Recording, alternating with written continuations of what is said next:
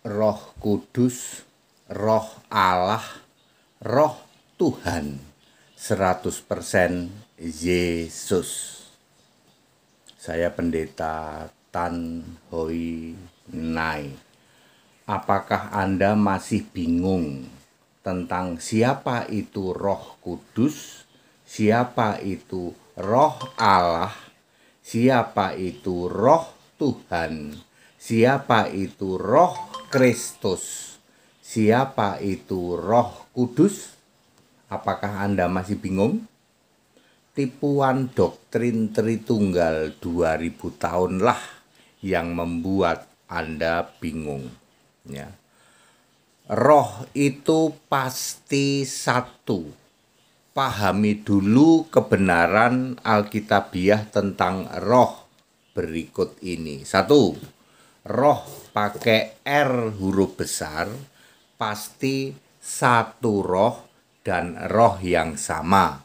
1 Korintus 12 ayat 11. Nomor 2. Allah itu roh di dalam Yohanes 4 ayat 24 sehingga disebut roh Allah.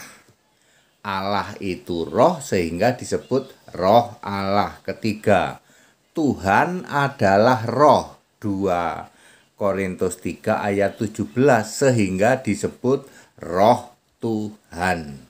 Ya, tentu saja Tuhan yang roh dengan Allah yang roh adalah satu roh dan roh yang sama. Keempat, roh Kristus.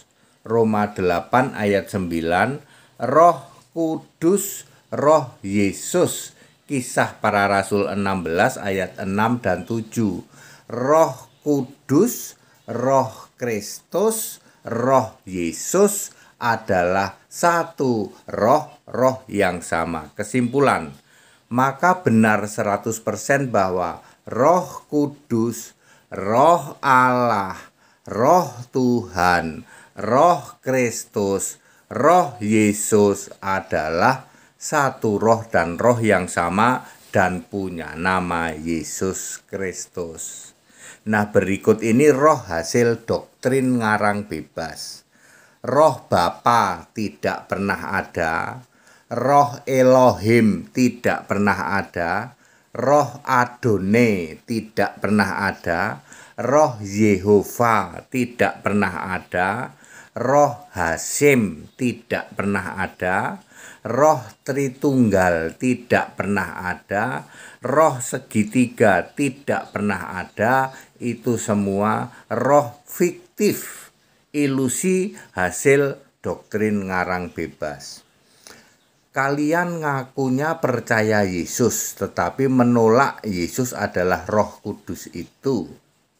Kalian ngakunya percaya Roh Kudus, tetapi menolak Yesus Tuhan Allah. Ya, itulah yang disebut dengan penyesatan 2000 tahun doktrin Tritunggal. Ya, uh, Yesus adalah Roh Allah, maka Yesus adalah Allah Yesus adalah roh Tuhan, maka Yesus adalah Tuhan. Ya. Juru selamat harus Allah. Apalagi ya, Roh Kudus adalah roh Allah, adalah roh Yesus, adalah roh Kristus. Jadi kalau kalian percaya Roh Kudus, maka kalian menipu dirimu sendiri karena kamu ngaku kami percaya Roh Kudus, Pak. Tetapi kami menolak Yesus Allah loh. Roh Kudus itu roh Allah ya pasti Allah.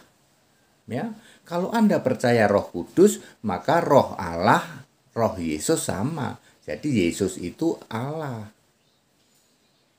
Ya, kami percaya Allah, Pak. Ya, kalau Allah itu Roh Allah. Tapi Allah kami Bapa tidak pernah ada Roh Bapa. Jadi Bapa pasti bukan Allah. Karena tidak ada Roh Bapa. Ya. Eh, Matius 10 ayat 20 roh bapamu itu artinya roh Allah bukan roh bapa ya eh, Yohanes 4 ayat 23 di situ ada bapa ayat 24 ada Allah siapa yang roh yang bapa apa yang Allah Allah ya jadi eh, siapa pun Anda di luar sana gelar doktor sekalipun Anda tidak paham bahwa Roh Kudus, Roh Allah roh Kristus, roh Tuhan, roh Yesus adalah sama, yaitu Yesus Kristus. Jadi Yesus sekarang roh kudus, betul. Kamu percaya roh kudus? Percaya Pak, kalau gitu kenapa kamu menolak Yesus? Kami percaya Yesus Pak, roh kudus adalah roh Allah, berarti Yesus harus Allah. Allah kami Bapa Pak, Bapa tidak pernah ada roh Bapa very very clear Bapak Ibu Saudara. Ya, itulah gunanya sekolah Alkitab di tempat kami gratis sekolah Alkitab Pak, Bapak Ibu Saudara ya. E, gratis di tempat kami. Terus e, Anda e, boleh ikut, demikian pula apa? Ikut dibaptis supaya namamu tertulis dalam kitab kehidupan.